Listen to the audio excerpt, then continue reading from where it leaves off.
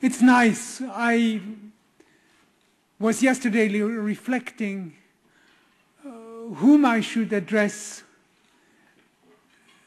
in the morning. You know the role, the etiquette, how you have to do it, whom you have to say hello.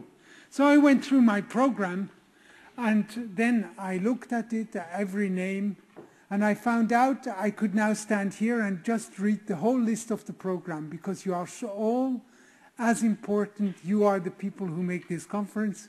And actually, I should say hello to everyone. I should say every name in the program. And since this is not possible, because it would take an hour, uh, I just felt it's good to say dear all. Like I write all my mails when I do mass mails, and you all received from me dear all.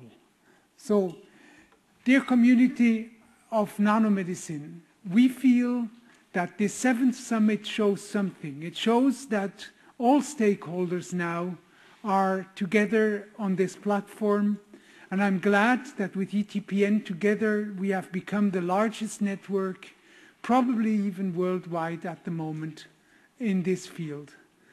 I hope that these three days will give you ideas, creative vision, that they will give you moments in which you can find out how to cooperate, with whom to cooperate, and that you will meet so many people that do the same as you do, striving for a better medicine of the future. I wish you a very, very nice conference. I hope that we do all to it, that it will be a nice conference, and I'm sure the speakers have to do their great job as from now until Wednesday. Thank you very much, and I give the word to Patrick Boisseau, who is the chairman of uh, ETPN, European Technology Platform on Nanomedicine.